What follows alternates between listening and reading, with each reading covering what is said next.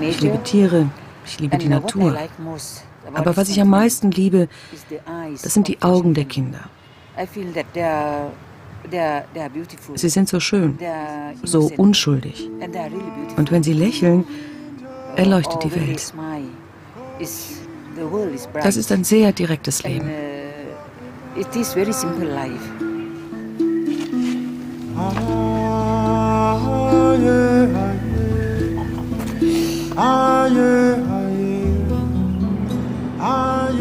Das nördliche Tansania am Fuße des Kilimanjaro. Ein friedliches Land ohne Bürgerkriege wie in den Nachbarländern. Der größte Feind ist nicht sofort sichtbar. Jeder Zehnte hier ist HIV-positiv. Wir fahren zu einer Arzneimittelfabrik mit einem Herstellungszweig für AIDS-Medikamente. Initiiert und betreut von der thailändischen Pharmazeutin Krisana Kraisintu. Hallo, Ramadan. Yes, I was lost. yes, now, now I'm back. I went to the demonstration against government. yes, that's my activity. uh-huh. So when are you coming? Krisana Kreisintu hat Anfang der 90er Jahre in ihrer Heimat Thailand die staatliche Gesundheitsbehörde geleitet. Dort gelingt es ihr zum ersten Mal, ein hochwirksames AIDS-Nachahmepräparat zu entwickeln, das nur einen Bruchteil so viel kostet wie die Originale der internationalen Pharmakonzerne. Nach diesem Rezept lässt sie nun auch in Arusha bei der einheimischen Firma TPI AIDS-Medikamente herstellen.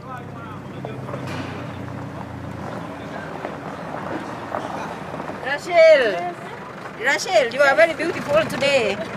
Huh?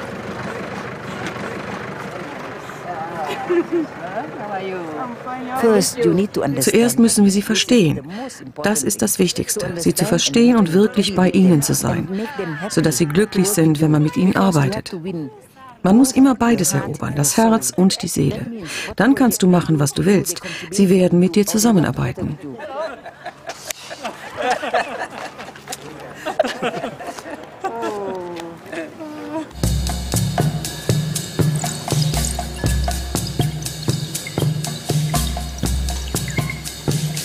1991, als ich anfing, hat sich niemand für meine Arbeit interessiert, weil niemand daran geglaubt hat, dass es möglich wäre. Noch nicht einmal ich. Es gab kein Licht am Ende des Tunnels. Einmal habe ich auf einer Konferenz in Rio laut davon geträumt, lokale Produktionsstätten in Afrika aufzubauen. Da trat ein afrikanischer Wissenschaftler vor dem versammelten Publikum auf mich zu.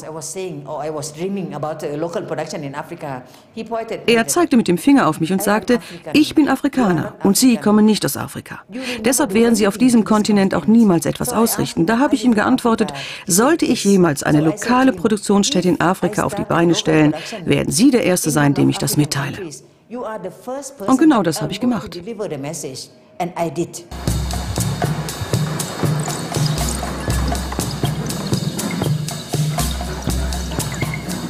Die drei notwendigen Wirkstoffe für die AIDS-Medikamente kommen aus China.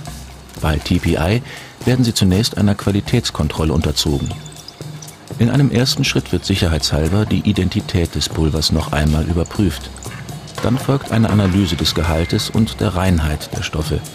Erst dann geht es zur Weiterverarbeitung.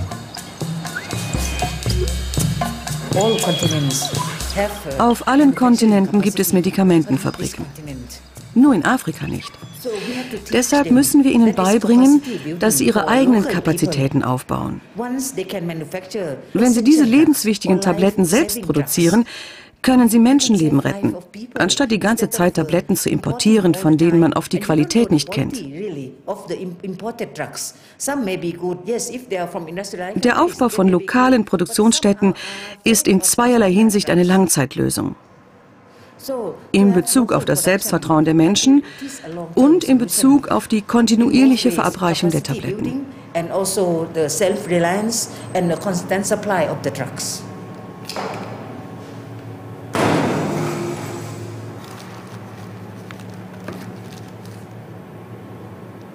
Die drei Grundsubstanzen Nevirapin, Lamivudin und Stavudin werden gleichmäßig vermischt. Es muss garantiert sein, dass am Ende alle drei Substanzen in den vorgeschriebenen prozentualen Mengen im richtigen Verhältnis zueinander in jeder einzelnen Tablette enthalten sind.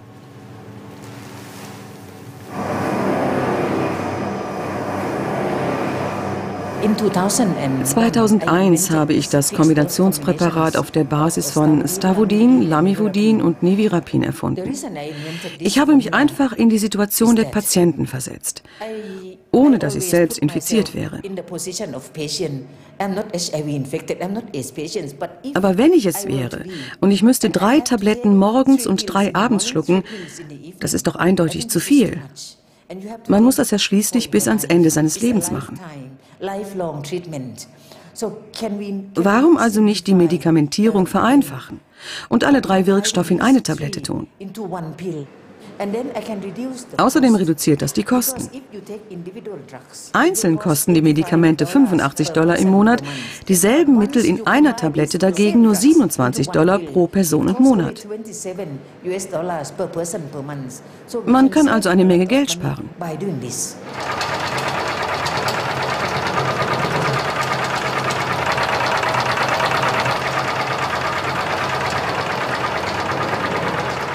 In einem abschließenden Produktionsschritt werden die noch rauen AIDS-Tabletten mit einem Film überzogen, der die Oberfläche glättet und vor Feuchtigkeit schützt.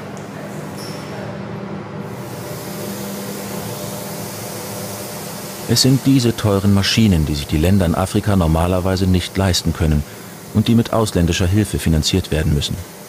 Hier fängt die Abhängigkeit der ärmeren Staaten an. Das sind alles Ausreden, wenn man behauptet, dass Afrikaner noch nicht einmal die Uhr lesen können und dass man ihnen deshalb keine Medikamente zu geben bräuchte.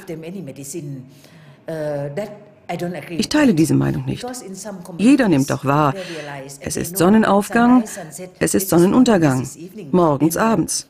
Das sind alles nur Ausreden, diesem Kontinent gar nichts zu geben. Das ist nicht fair. Das Recht auf Leben ist ein Menschenrecht, ob du arm bist oder reich. Du hast ein Recht auf Leben. Ich glaube, das ist eine Ausrede.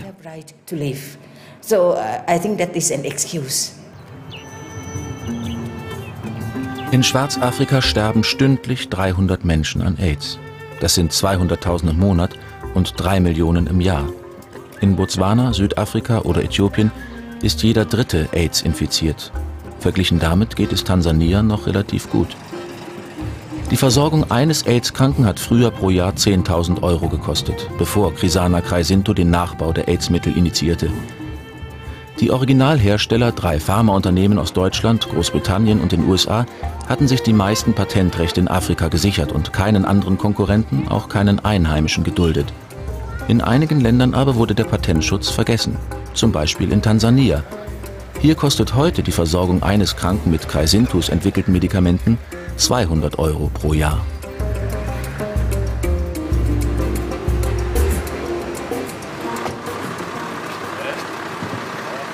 Krisana Kreisintu besucht Anna Abdallah, die langjährige Gesundheitsministerin Tansanias.